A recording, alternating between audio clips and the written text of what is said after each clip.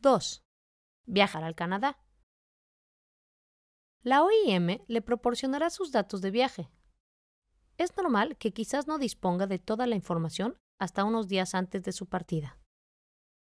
En el camino al Canadá, el viaje puede ser largo y cansador. A menudo, el viaje toma muchas horas o unos cuantos días. Deberá realizar numerosos trámites en los aeropuertos de camino. Es posible que deba repetir los mismos procedimientos en más de una ocasión, especialmente si tiene que tomar más de un vuelo. Paso 1. Ir al aeropuerto. Paso 2. Recibir una bolsa de la OIM como esta. Manténgala a la vista y en un lugar seguro durante todo su viaje. Paso 3. Facturar con la aerolínea. El personal de la aerolínea le proporcionará sus tarjetas de embarque y sus etiquetas de equipaje facturado Coloque su equipaje facturado en la balanza para pesar y etiquetar. El equipaje facturado se deja al personal de la aerolínea para que pueda ser cargado en el avión. Solo guarde su equipaje de mano y artículos personales consigo. Tanto en el aeropuerto, en el avión como en las zonas de tránsito, asegúrese de que su familia permanezca junta y vigile a los niños.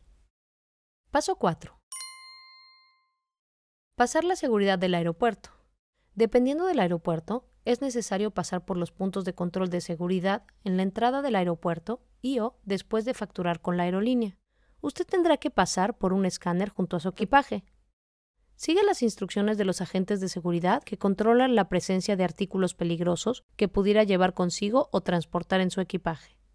Es posible que un agente deba palparlo para comprobar que no lleva artículos peligrosos. Paso 5 realizar los trámites de salida. Esto puede incluir la entrega de sus documentos a un funcionario de gobierno para que los examine cuando salga de un país. Paso 6. Embarcar en el avión. Consulte la tarjeta de embarque para ver el número de la zona de espera que le corresponde. Aquí es donde esperará hasta que embarque en el avión.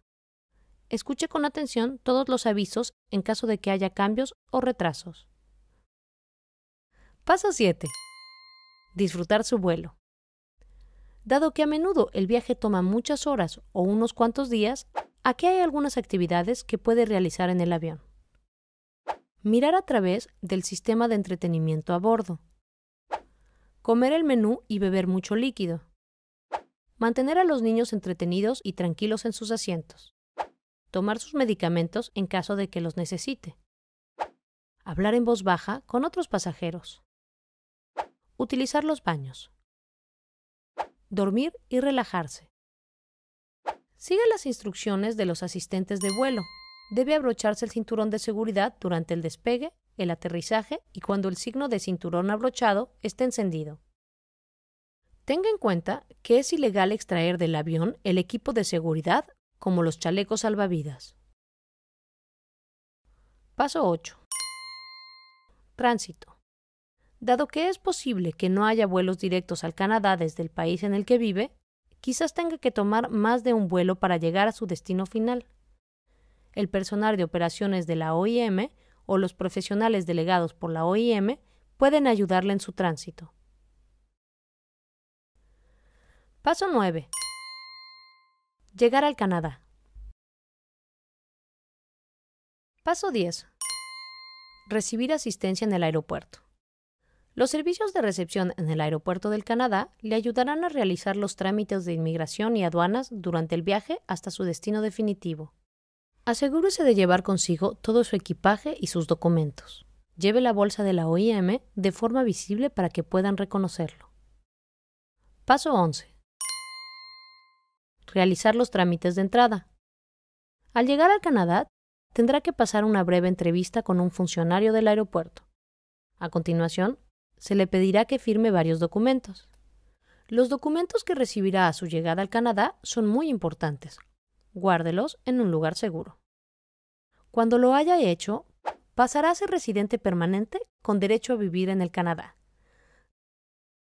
Recoja su equipaje facturado de la cinta transportadora. Asegúrese de que el equipaje que recoge sea el suyo. Buena suerte con su viaje al Canadá.